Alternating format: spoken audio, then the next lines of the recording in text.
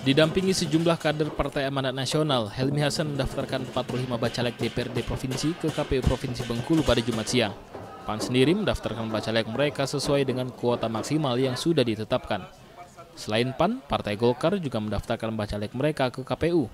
Rohidi Mersyah yang merupakan Ketua DPD Golkar Provinsi Bengkulu ikut mengantarkan langsung 45 bakal calon legislatif.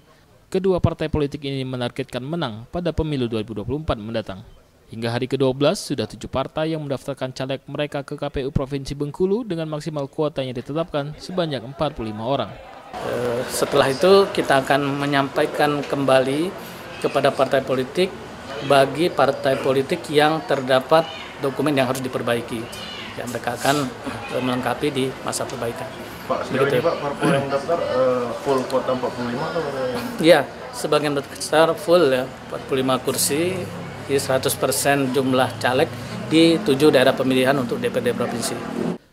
Penutupan pendaftaran bakal caleg sendiri akan berakhir pada hari Minggu 14 Mei 2023 mendatang.